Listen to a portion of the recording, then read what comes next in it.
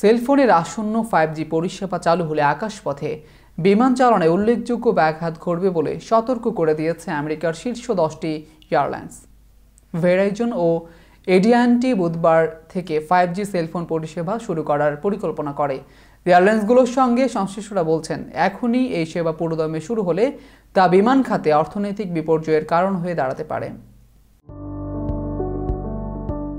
Five জির C band সিগন্যালের কারণে উড়োজাহাজের দিক নির্দেশনা তথা পথ চলার প্রক্রিয়া ব্যাঘাত ঘটবে। বিশেষ করে খারাপ আবহাওয়ার সময় ব্যবহৃত পদ্ধতিগুলোতে তা হতে পারে।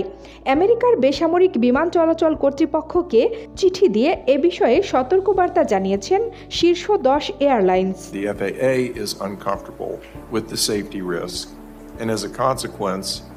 The impact on our operations to mitigate that would be a significant setback. চিঠিতে বলা হয়েছে বিমান যাত্রী ও মালামাল পরিবহন ছাড়াও টিকাসহ জরুরি চিকিৎসা সামগ্রী সরবরাহ কার্যক্রম উল্লেখযোগ্যভাবে ব্যাহত হওয়ার হাত থেকে রক্ষার জন্য এখনই জরুরি ভিত্তিতে পদক্ষেপ নেওয়া প্রয়োজন আমেরিকান এয়ারলাইন্স ডেল্টা এয়ারলাইন্স ও ইউনাইটেড এয়ারলাইন্সের প্রধান নির্বাহী সহ দেশের বিমান খাতের শীর্ষ কর্মকর্তারা এ আহ্বান জানিয়েছেন 5G is now the biggest issue facing the airline, which is remarkable to say in a world where we're still in COVID. জরুরিভাবে যেসব বিষয় দেখা দরকার সেগুলো উল্লেখ করা হয়েছে চিঠিতে। চিঠিটি বিবিসি দেখেছে।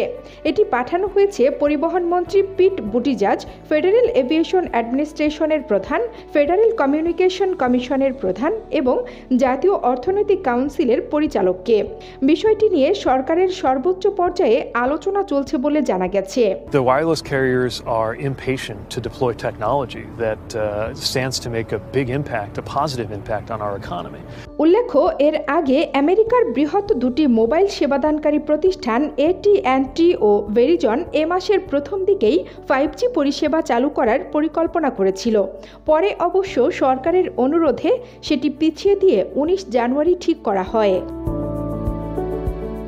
Kanis Fatema, Nipa, Bangla channel, news desk.